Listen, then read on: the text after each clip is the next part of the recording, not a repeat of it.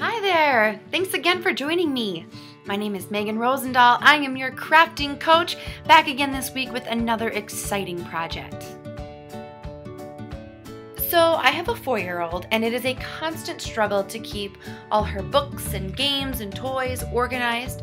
So, what I found this week on Pinterest was a really fun project that keeps everything organized a lot better and it makes it look a heck of a lot prettier. This week, we're going to make DIY fabric buckets. These buckets will be perfect for storing toys, gardening tools, anything else you can think of. So here's what you're gonna need for this week's project. A five gallon bucket, fabric of your choosing, and Mod Podge.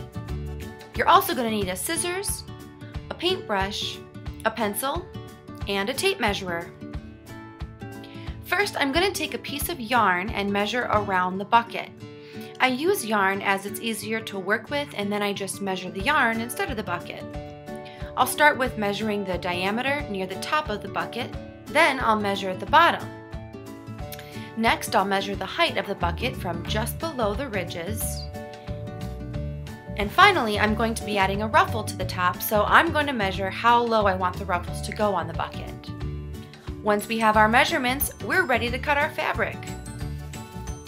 I'm using a solid color for the base of the bucket, so we'll measure and cut that first. Start by putting Mod Podge on the very end of the fabric, then placing the fabric as straight as possible on the bucket. Make sure that this section is completely dry before moving on.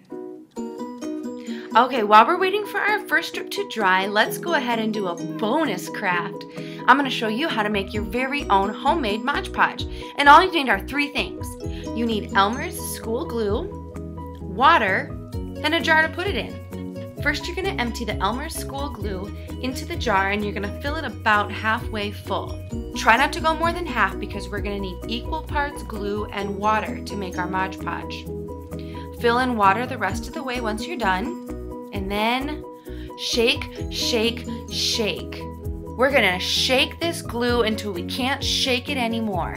Honestly, you're gonna wanna shake it for a good minute or two straight to make sure that everything is completely dissolved together. All right, that's it. Let's go see how our fabric's doing. Now we can move on to covering the rest of the bucket. Now I recommend only applying the Mod Podge in sections no larger than two to four inches. As you're applying the fabric, be sure to stretch it tight and remove any air bubbles or ripples that might have formed. Be sure to press down firmly over the entire area before moving on to your next section. Something to keep in mind. When choosing fabrics for this, it's best not to get anything too thick or too thin. Now I just used what I had laying around the house and as you can see it's a bit thin and you can see the lettering from the bucket underneath. Don't worry if that happens because it's still to turn out really cute. If you have extra fabric when you get to the end, just measure how much you'll need and then cut off the excess. Go ahead and apply your final strip of glue and you're done with the base. I measured how far I want my ruffles and now I just need to cut my fabric. Now I'm going to start just where the handle of the bucket is because this will make it easier to use the handle once I'm done. I'm going to start gluing my ruffles in about 4 inch sections, but feel free to make any size ruffles that you want. To make the ruffle, I'm going to fold a small piece over, however big or small you want, and I'm going to apply my Mod Podge directly to the fabric where I folded and then in addition to the bucket. Press down firmly so the entire piece sticks. And when that's dried, you'll be left with a little flap that you've made. Go ahead and just apply your Mod Podge directly to the flap and stick that down as well. Again, be sure to make sure that this is completely dry. Now when I get to the other handle, I usually make a cut in my fabric here and then I start the process again. Again, this is just so it's easier to use the handle when I'm done. Is it necessary to do? Absolutely not. At the very end, I'll trim my fabric to the amount that I'll need and I'll fold the fabric over the other way to complete my bucket. How stinking cute are these? And they're perfect for anything that you can think of. As long as it's smaller than a bread box, it's gonna fit in one of these buckets. Go ahead and get creative. The nicest thing about this project is you can customize it any way you want. You can use whatever colors, whatever styles, whatever patterns. You can match it to your living room or your kids' room. You can take it outside and give it an earth tone.